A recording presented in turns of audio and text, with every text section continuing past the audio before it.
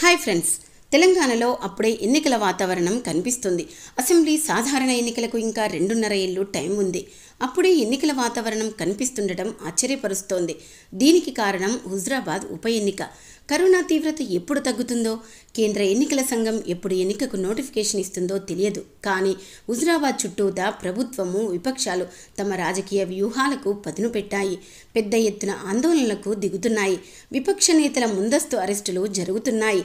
అరెస్టులను నిరసిస్తూ విపక్షాల ఆందోళనలకు దిగుతున్నాయి. జిందాబాద్ డౌన్ డౌన్లు వీధుల్లో వినిపిస్తున్నాయి. ఆందోళనలు తగ్గించేందుకు పోలీసులు బాగా కష్టపడుతున్నారు. నాయకులు వారి స్థాయిని మర్చిపోయి సిగ్గుందా శరముందా అంటూ ఆవేశంతో నోటికొచ్చినట్లు మాట్లాడుతున్నారు. నిందాపూర్వక ఆరోపణలు సరే సరి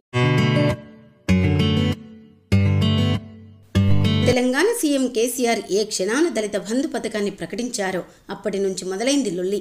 హుజరాబాద్లో పైలట్ ప్రాజెక్టుగా చేపట్టే దళిత బంధును రాష్ట్రమంతా వర్తింపజేయాలని దళిత సంఘాలు డిమాండ్ చేస్తున్నాయి.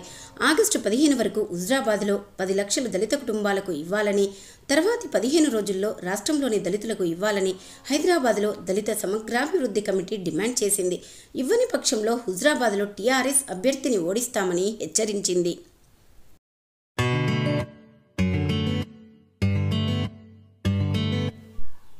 దళిత బంధు పథకాన్ని మునుగోడు నియోజకవర్గంలో కూడా ప్రకటించాలనే డిమాండ్తో ఎమ్మెల్యే రాజగోపాల్ రెడ్డి భారీ ర్యాలీ నిర్వహించారు. మంత్రి జగదీశ్వర్ రెడ్డి రేషన్ కార్డుల పంపిణీ కార్యక్రమంలో పాల్గొనడంతో కాంగ్రెస్ ర్యాలీకి పోలీసులు పర్మిషన్ ఇవ్వలేదు.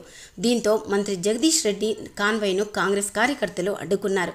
ఈ సందర్భంగా టీఆర్ఎస్ కార్యకర్తలు కాంగ్రెస్ కార్యకర్తలను ఆపే ప్రయత్నం చేశారు. డీఐజీ నేతృత్వంలో మూడు వందల మంది దాకా మంత్రి టూర్కు బందోబస్తు నిర్వహించారు.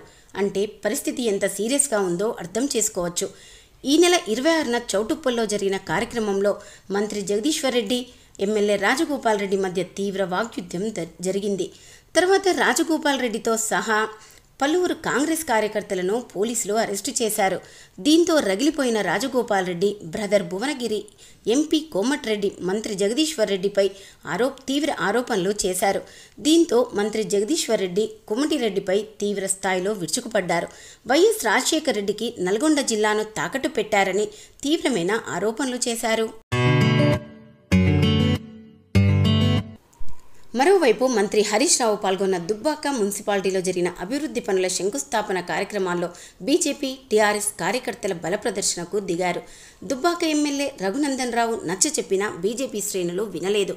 టీఆర్ఎస్కు వ్యతిరేకంగా ముఖ్యమంత్రి కేసీఆర్కు వ్యతిరేకంగా బీజేపీ కార్యకర్తలు నినాదాలు చేశారు. పోలీసుల జోక్యంతో పరిస్థితి సద్దుమణిగింది. మహబూబ్ నగర్ జిల్లా ఆలంపూర్లో ఎమ్మెల్యే డాక్టర్ ఆబ్రహంను స్థానికులు ఘెరావ్ చేశారు. వంద పడకల ఆసుపత్రి కోసం స్థానికులు కొద్ది రోజులుగా ఆందోళన చేస్తున్నారక్కడ.